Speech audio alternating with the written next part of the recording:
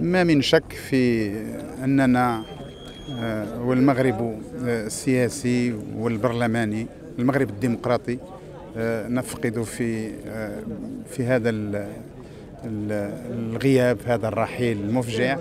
أحد أركان التجربة الديمقراطية في المغرب أحد كبار المناضلين الوطنيين الديمقراطيين التقدميين الذين أسهموا بقسط وافر في ترسيخ الثقافة السياسية.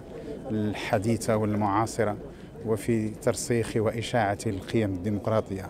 عبد الواحد الراضي منذ نعومة أظافره منذ كان شابا في حزب الاستقلال الحزب الوطني الكبير ومنذ كان أيضا إلى جانب الشهيد المهدي بن بركة وهو في ريعان شبابه ومنذ أسهم في تأسيس الاتحاد الوطني للقوات الشعبية سنة 59 إلى أن أصبح آه، كاتبا أول للاتحاد الاشتراكي.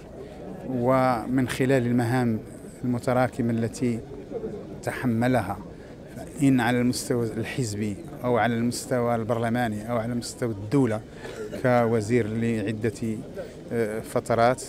وأيضا المهام التي تحملها على المستوى البرلماني ولعب دورا مهما في ترسيخ الدبلوماسية البرلمانية سواء على المستوى الأورو المتوسطي أو على المستوى العربي أو المغاربي وعلى المستوى الإسلامي وإلى أن تحمل مسؤولية رئيس الاتحاد البرلماني الدولي. كل هذا المسار الثري المتنوع الغني آه، جعله في مقدمة المشهد السياسي الوطني مصدرا ومرجعا وافقا وكان يحسن الإنصات بسيطا في حياته اليومية في علائقه الإنسانية. يحسن التعامل والتوافقات. رجل التوافق بامتياز لم يكن لعبد الواحد الراضي من أعداء كان له خصوم سياسيون هذا أمر طبيعي لكنه كان عفيف اللسان له مروءة وعفة ولم يكن إطلاقا. يعني يسيء إلى خصومه لا باللسان ولا بالفعل.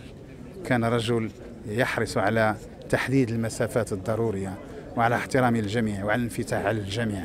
ولذلك كان مرجعا للجميع وملاذا للجميع. حقيقة آه، نفقد فيه أحد رفاق الطريق وأحد أساتذتنا الكبار في الممارسة السياسية والديمقراطية وسنظل نستحضره باستمرار من خلال رصيده من خلال تجربته الثريه والغنية ومن خلال العلائق العميقة التي شيدها مع كبار قادتنا الوطنيين خاصة مع الشهيد المهدي بركة لازمه تقريبا يوميا لمدة عشر سنوات وعبد الرحيم بوعبيد رحمه الله الذي لازمه ثلاثين سنة. ملازمة يومية بالكاد يومية. إلى آخره. ثم أيضا انفتاحه على جلالة الملك الحسن الثاني واقترابه من من المرحوم وأيضا اشتغاله معه واشتغاله مع جلالة الملك محمد السادس جعله رجل دولة كبير ورجل مجتمع سياسي كبير ورجل له مصداقية في أقواله وفي أفعاله.